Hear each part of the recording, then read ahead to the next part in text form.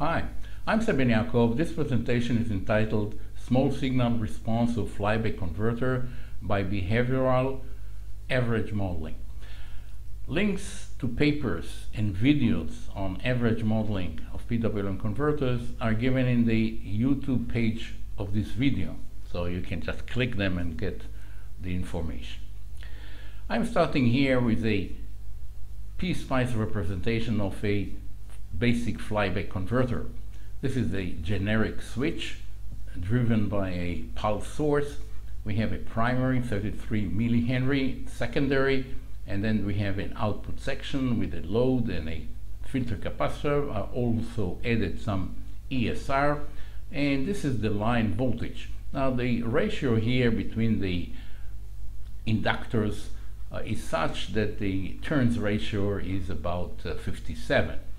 Now this is coupled inductors and just for simplicity I'm assuming a coupling coefficient of 1. So this is the very basic representation of the switched circuit. Now we can use the concept of behavioral average modeling to build a average model of this circuit and as a matter of fact of any PWM converter. So this is just an example. You can do it exactly the same way for the buck, for uh, boost or forward or any PWM based converter. So I'm starting here with the inductor. I can use the primary or secondary that is reflected to the primary or reflected to the secondary. I'm just using here the primary. So here's the primary and I'm starting with the average voltage on this primary. When the transistor is on, there is the input during the on. So the average voltage on this side, on this side, is VA over D on. And the average voltage on the other side, you might say, is N times, because of the reflection, VB, this is the voltage here, times D off. So this is a generic representation of a PWM converter inductor. Now to the output section. In this particular case, could be a little bit different in other topologies, we have that the output is during the D off time, so therefore we see the inductor current times D off, this is the average output current, times N, which is the uh, turns ratio here of this uh, coupled inductor. Now this is strictly speaking correct for CCM now. I can represent this with average behavioral models. Average behavioral models are just voltage sources or current sources. This is a voltage source, the output of which, the numerical value of the output, is equal to the value of this expression at a given instant. That is, you can write here an expression, and the voltage here will be just the value of this expression as the simulation is running. So in this case, to get the average voltage here, I put the line, this is the input voltage, times VD on. Now, D on is now coded into voltage. So this is the voltage of a node in the circuit, I'll show it in a minute, that represent the D on, the D on ratio. So this is the average voltage on the inductor on one side, and similarly we have the average voltage on the inductor on the other side, which is the output voltage, times 57, this is the turns ratio, times VD off, this is the off time. I've added two in uh, resistor, they have nothing to do with the model, this is just uh, in case I disconnect this so it'll not be open. So we have now this ABM. This is ABMI. This is the current source, the value of which now is IL, average current of the inductor, times 57 turns ratio, and VDO. There's another term here, which I'll talk about in a minute. This is uh, a correction for DCM. Uh, we'll see it in a minute. So this is the basic structure of the, in this case, flyback, but very similarly, you can do it for any PWM converter. Now, what about DCM, discontinuous current mode? In this case, the current of the primary starts from zero and then goes to a certain value. and then the output sees this value actually reflected at the output, and the current goes to zero. So we have an effective D off, which is different from 1 minus D on. In fact, it's shorter here. As it turns out, you can calculate this D off by this equation, which uh, says that uh, this D off is equal to 2 times average current and the inductance of the inductor switching frequency. VAB is the voltage across the inductor during the on time. This is then times D on minus D on. This is explained in the papers that I'm referencing. Uh, so this is the value of this D off. As it turns out, if you are in the CCM case, the if you use this equation or calculate the value of this equation when you are in CCM, the number you will get will be larger than 1 minus d on. So if you take the minimum between this and this, in any event, CCM or DCM, you'll get the correct D off. That is, in CCM, you'll get this one because this is the smallest one. And in the uh, DCM, of course, you'll get this one, which is also the uh, smallest between the two. Then there is another correction that has to be made for the output. Because we are sampling the, out, the current, you might say, at a shorter period, not 1 minus uh, D on, there is a need for the output source, output current source, divide, you have to divide it by D on plus D off. Of course, in CCM, this is 1, so it's exactly what we've seen before. Inductor current, D off times N. But in DCM, you have to add this to correct for what just I've uh, explained. And again, if you like to get a more detailed explanation of what's going on here, uh, you're welcome to look up uh, the reference that I'm uh, citing in the uh, page of this uh, YouTube video. So now we have everything. We have the stage itself. This is the inductor, average voltage, output section. This is the current source for the output. And then I have here a ABM, which represent the duty cycle. That is, the voltage here represent the duty cycle. I've added an AC source for AC analysis. And this is T on, the on time, that is the driving force for this thing is the on time divided by 10 micro, which is the period of the switching, which I've chosen uh, 100 kilohertz. And then I have here the so-called duty cycle generator. It's another ABM, which is just minimum of these two, that is 1 minus VD on, etc. This is this expression that uh, we have seen before. Here it is minus VD on. And the output then uh, has this correction, VD off, VD on. So this model now is correct for both DCM and CCM. The beauty is that this model is co compatible with time domain transient, DC analysis, and AC analysis. You don't have to do anything more. That's it. You just run it in AC. What SPICE is doing, actually, it's the core of SPICE. It's first linearizing this circuit, getting, in fact, a small signal of it. So this is transparent to the user. You don't see it because it's in the background.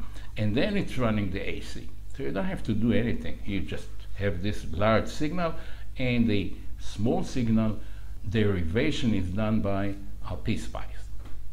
So here is an example. I'm running here a time domain analysis, 10 milliseconds, and then also I've added a, a parameter switch, and the parameter is the load resistor, 3 to 20 ohm, uh, current of 3 ohm. This is covering both CCM here, and at the end it's uh, DCM. And here's what we are getting. Now I'm showing here, again, a time domain. This is for the actual switched circuit. That is, I'm running this circuit as well as this circuit together. So I see here the switch circuit very nicely. This is the primary current.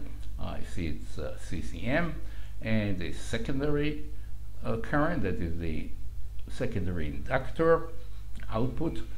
And then here we see the output voltages. Uh, this is for the, the ABM is the red one, the green is uh, for the switch.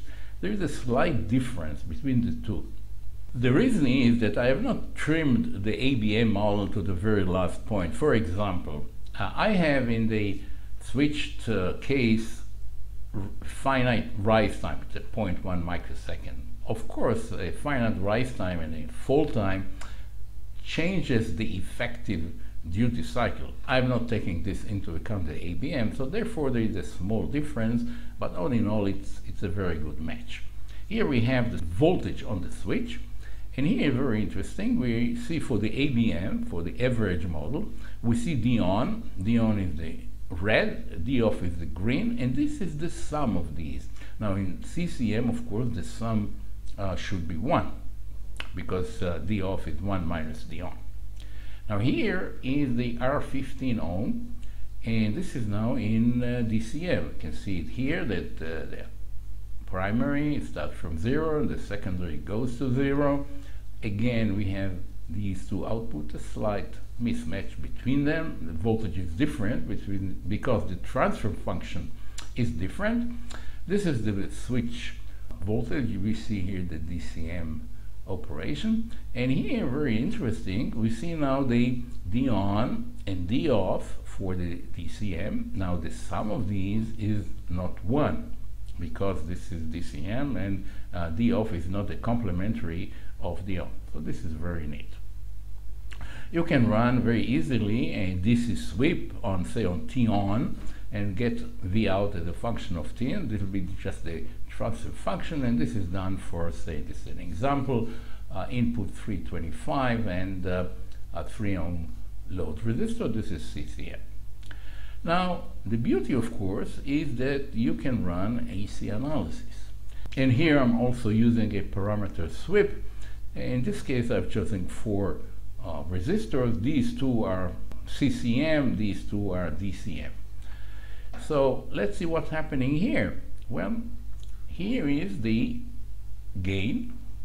3 and 5 are for the CCM, very typical of a PWM. This is the resonant point.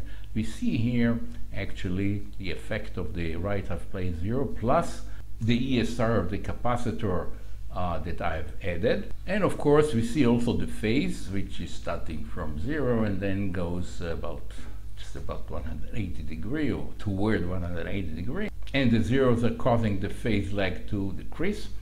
And then we have, very nicely, the DCM. It's very typical. It's about uh, 20 dB per decade. And this is the corresponding phase. Uh, obviously, uh, phase here is uh, about 90 degrees, which is, of course, very typical of the DCM. Now I can also see or probe into the effect of the input voltage and here I'm running the same thing for 125. See here is the say gain here this is on 125 and in the 325 see it's higher this is the way it should be of course. Now let me just uh, emphasize that this is an average model so uh, you have to beware that if this is the switching frequency, it's like 100 kilohertz, and then obviously uh, this model is correct for uh, frequencies below, say, half the switching frequency, or maybe even lower than that. So you can't use it uh, in this region because uh, this is just incorrect uh, due to the um, sampling effect. So what about peak current mode? Well, I'm showing here now a boost converter and the point is that the transfer function between the gate, say the duty cycle here, and the output is really independent of the question whether it's a voltage mode or a current mode um, operation because this is just the stage itself. So we don't have to worry about this, it's the same thing here. What is different here is that the excitation is this V sub E, which is the output of the error amplifier, the voltage feedback. And so we are interested in the transfer function between this excitation and the output. Okay, so you might say that we have in between some transfer function that we have to take care of. I'll call it uh, the duty cycle generator. That is, you feed in a VE and you get a duty cycle, and then you go on uh, with the sage itself, which is like we had it before. So what we are missing for peak current mode is this uh, duty cycle generator. Now, Professor, the late Professor Middlebrook showed this equation, which is very nice, and this is a expression that you can use to calculate the duty cycle in peak current mode. This is the V sub E that I had. This is called control voltage, but this is the V sub E I've had before. This is this voltage here. And this is the average inductor current. Ks is the sense resistor, translating the current to voltage. Ts is the period of the switching frequency. MC is the slope compensation to combat the subharmonic oscillation. Ks again is uh, this resistor, and M is the slope, that is the voltage on the inductor, uh, the rise of the current of the inductor due to the voltage across it during the on time. Okay, so we can now use an ABM to just calculate this duty cycle. Because uh, this is an expression so we can plug this expression into this ABM VE is the voltage this is the, like the excitation here which is composed of a DC plus some AC uh, perturbation. And so this is VE this is the excitation voltage and these are the other parameters of the Middlebrook equation which I have everything. That is, MC is a constant, and um, this uh, uh, slope is this uh, line voltage divided by the inductance here. Okay, so I can very easily generate duty cycle. Once I have it, then it goes on as it is uh, for the basic uh, behavioral model of the PWM converter. So there's no difference here. The only difference is how do I generate the duty cycle? That's the only difference. And let's see the result. The model is strictly speaking correct for CCM because uh, this equation is for CCM. But I've found that uh, it's actually pretty good for DCM also. So I've run here both CCM cases. This is 3 ohm and, and the 5 ohm. So this is the peak current response. This is the gain part for the CCM. And then 20 and 10 are for DCM. Now, I don't understand uh, this behavior here. This might be correct. I haven't probed into it, but it looks kind of different. Uh, it might be okay. Anyhow, the 20 ohm that is also it's a deep DCM seems, seems like logic, logical. So in any event, for CCM, uh, this model is, is very, very good. And again, you see the drop of 20 dB per decade that you expect, and then you have the effect of the zeros here, it's flattening it out. Again, this is incorrect for this region uh, strictly speaking, uh, you have to limit yourself uh, to this region uh, below half the switching frequency. So this brings me again to the end of this presentation. I thank you very much for your attention. I hope you found it interesting and perhaps it will be useful to you in the future. Thank you very much.